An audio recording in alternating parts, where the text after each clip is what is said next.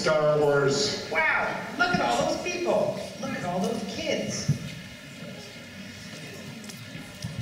I don't do so well in front of a big bunch of people. You'll be fine, Randy. Oh, look at them. They look like really nice people, don't you think? And they're all here because it's Christmas Eve. Christmas Eve, presents, turkey, no school. Hanging with my cousins, and uncles, and playing with the. Those are all wonderful things. But we're here to remember the most important part of Christmas, the Christmas story. Now, did you read the story in the Bible, Luke chapter 2, like I asked? Uh, well, you see, I was going to. Hmm, yeah, well, I decided I already know it well enough. Oh, you know the story well enough. Well, good. Then you can start it for us. Sure. Ready? Long, long ago, in a galaxy far, far away. No, no, no. You can't start it like that.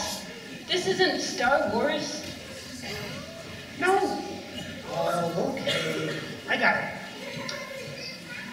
Once upon a time, in a land far, far away. No, you can't start it like that, Randy, either. This is not a fairy tale or some make-believe story that you see in movies. This is a real story. Are you sure? Positive. Well, how do you know? Randy, it's because we read the Bible, and we believe that the Bible speaks the truth of God. Oh, okay. Well, maybe you should start the story. Great, here we go. And there were shepherds living out in the fields nearby, keeping watch over their flocks at night. And an angel of the Lord appeared to them, and the glory of God shone around, and they were terrified. Oh, Randy, what are you doing?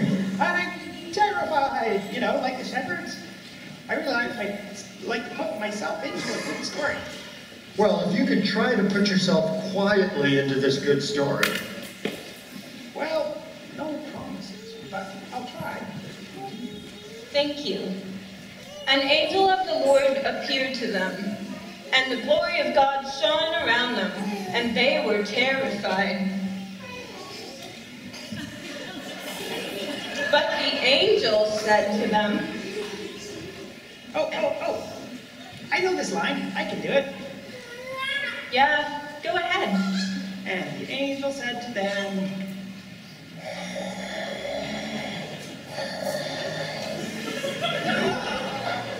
I am your father. Randy! Randy, let me tell this part. I'll tell this part, Randy. But the angel said to them, Do not be afraid. I bring you good news of great joy that will be for all people. Today, in the town of David, a Savior has been born to you. He is Christ the Lord. And this will be a sign to you. What? Where?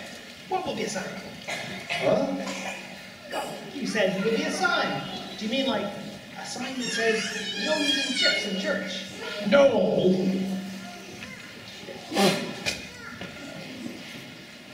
That's not what I meant by sign, Randy. So do you mean like a sign that says like what's your sign? Like like Gemini or Scorpio? No, Gemini. no, no, Randy. The angels are telling the shepherds what they will see. You will find a baby wrapped in clothes, lying in a manger. Hmm. Okay, suddenly, a great company of heavenly hosts appeared, with the angels praising God and saying, Glory to God on the highest, and on earth peace to all mankind. When the angels left them and gone on, and gone on to heaven, the shepherds said to one another, Oh, I know what they say. Do you really think it's Luke's father? Well, I don't know. The force is strong to both of them, and they both did have robotic hands. Randy, stop. Sorry. I'll finish. When the angels had left them and gone into heaven, the shepherds said to one another, Let's go to Bethlehem and see this thing that has happened, which the Lord has told us. So they hurried off. And when they saw him, they spread the word about what they had seen. And all who heard it were amazed at what the shepherds said to them. But Mary treasured these things and pondered them in her heart. Gus, I do know the last line. I did study that. Can I tell it? Sure, Randy. Go ahead. The shepherds returned, glorifying and praising God for all the things that they had heard and seen, which were just as they had been told. That's a good job, Randy. You know, that story does remind me of angels sing, glory to the newborn King. Merry Christmas, everyone! Merry Christmas! Merry Christmas!